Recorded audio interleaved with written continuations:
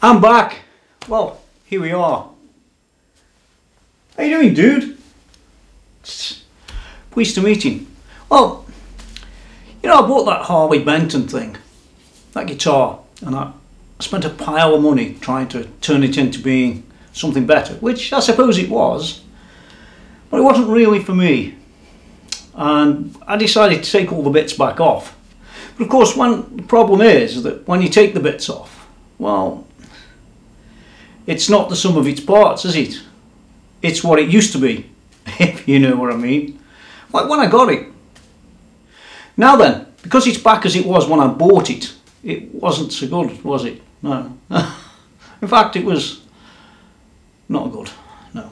So I decided that there'd be a finale, you know, an ending to the Harley Benton saga uh, that I've spent some of my life going through. And uh, I decided to send it out in a, in a big way. And this video shows you that. You're going to love it. Well, unless you're Harley Benton, or unless you're Thomann, or unless you're one of the millions of fans that get these brilliant guitars that are better than Gibson's and so on and so forth. You know the sort. I'm not one of them. yeah, I've got evil in my eyes. hey, you got evil in yours too. He's got a bit of evil in his. So anyway, video's coming up now, and I just thought I wanted to show you uh, the ultimate finale for a Harley Benton user. Rock and roll. And I won't be able to do it twice, so let's hope I got it right. let's go.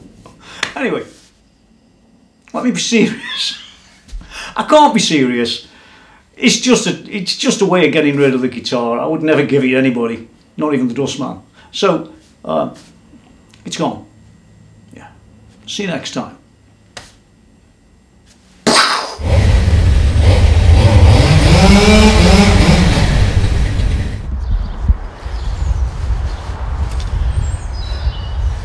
Absolutely the best thing to do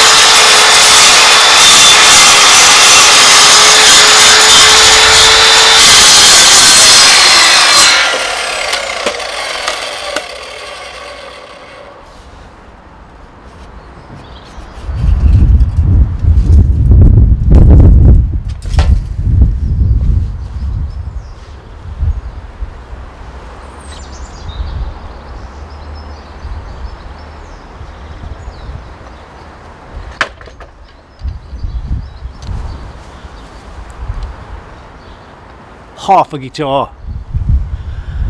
Well, it was only half a guitar started off with, right? Get out of here.